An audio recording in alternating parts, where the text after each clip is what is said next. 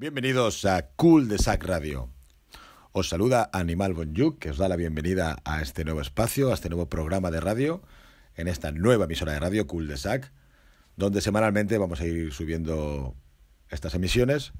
en las que pondremos una hora o dos de trayazos, dependerá de la cantidad de temas, porque van a ser unos programas temáticos, pero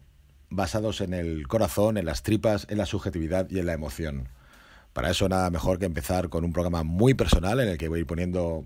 los trayazos que han marcado mis veranos desde no se sabe cuánto, 30 años quizá. Y, parecerá un programa de canciones del verano, pero es un programa de canciones del verano que no han sido canciones del verano. No lo mismo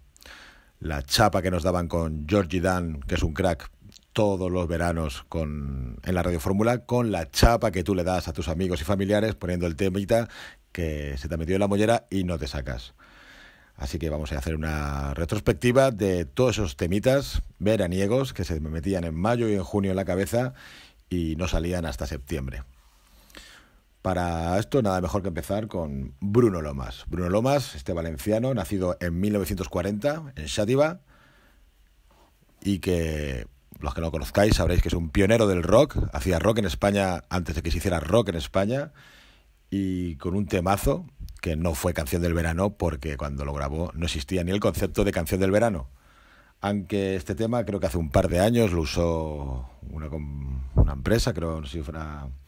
una empresa de loterías o alguien así lo usó para, para la campaña de verano y si no fue canción de verano pudo haber sido. El caso es que vamos a poner a Bruno Lomas con la canción Ya llega el verano y vamos allá con este pedazo de tema.